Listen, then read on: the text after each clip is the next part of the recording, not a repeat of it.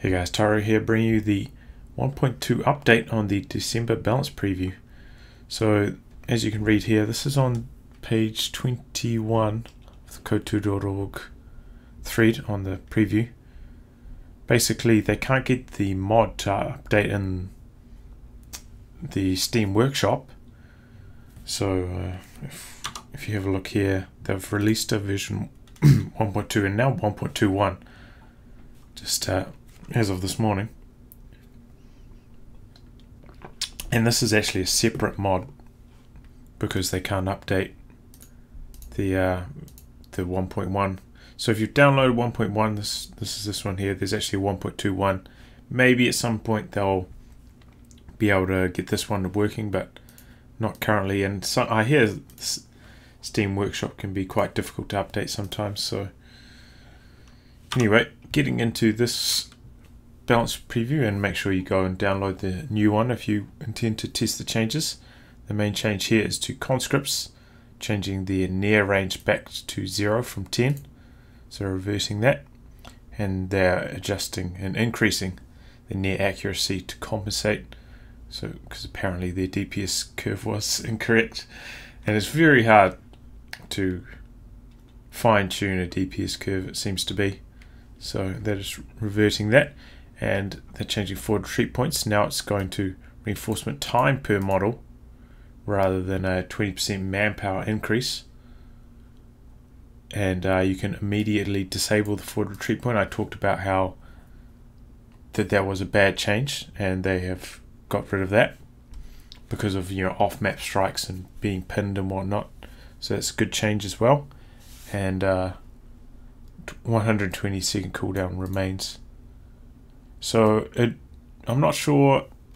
75% change or increase in time makes me think that like forward retreat points are really only going to be viable in 4v4s because in a 1v1 obviously the retreat path is not as long so using a forward retreat point you know doesn't give you as much of a time advantage and then stacking a 75% re reinforcement time penalty on that it's probably going to work out to about break even. So you might might want to use it, but it's certainly going to impact both fours and ones, but perhaps some ones they may not even be worthwhile.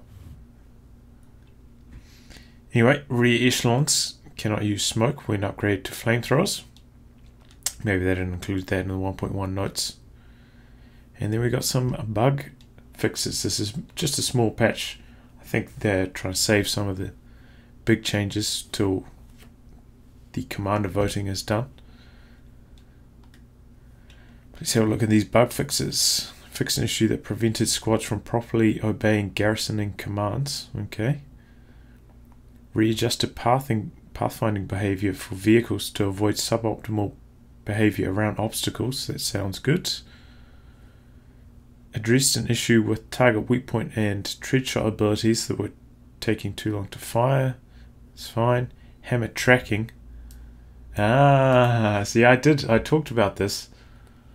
How hammer tracking went was now uh, longer than the reload time of the Firefly, and so that was really bad for the Firefly. But they've reverted that partially to 9.5 so I think, well, I mean, we can check, but I think the, uh, the reload time was, I think, about like 8.7 or something for the Firefly. So I think that's directly aimed at that. So the Firefly will work with hammer tracking now. So we're going to check that. Reload time 8.13. So 8.13, and then you have like a it's probably like a little bit of a ready aim time kind of thing. So it looks like that's directly aimed at fixing that. So that's good. And uh, okay, adjusted Lend-Lease Sherman hotkey to avoid overlap. Okay, that's good. And fixed an issue with ejection would cost 145 fuel instead of 140. Okay.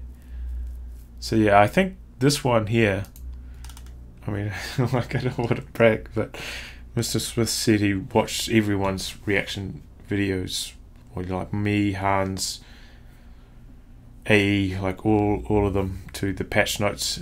So maybe he watched me say that that was a big problem for the Firefly and changed it accordingly. So yeah, there we go. Just a small update. And if you do want to play the mod, make sure you go to the new version, the 1.21. I mean, if you're not playing with conscripts, it probably doesn't matter too much if you're playing one of the other factions, but obviously conscripts are one of the biggest changes, so you probably want to test that the most. So make sure you get this new one, especially if you want to test it in the next couple of days before the uh, workshop version gets updated. So yeah, I'll wrap on that, guys, and uh, make sure you send in your replays of the Blanche Patch games. Peace.